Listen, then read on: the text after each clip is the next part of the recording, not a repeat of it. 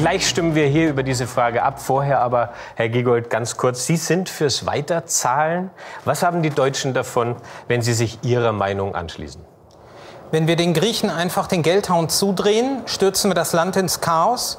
Das Land wird nicht mehr in der Lage sein, seine Schulden zu bedienen und gefährdet damit die Stabilität des Euros als Ganzen.